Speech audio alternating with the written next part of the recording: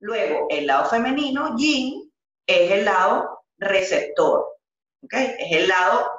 magnético, porque entonces es, no solamente es el recibir,